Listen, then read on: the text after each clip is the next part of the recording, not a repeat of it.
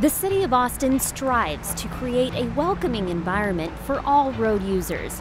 You may come across these bicycle signal faces at signalized intersections around the city. We are one of the first cities in the U.S. to install them. Bicycle signal faces are similar to standard traffic lights, but display a green, yellow, and red lens with the silhouette of a bicycle. These signals direct people using the designated bicycle paths and multi-use paths, which include bicycle lanes. Some bicycle signals will give priority to people using the bike lane at intersections by displaying a green bicycle light a couple of seconds ahead of people driving, increasing visibility and safety. Drivers, remember, when your light turns green, always yield to the people traveling in the bike lane. They have the right of way.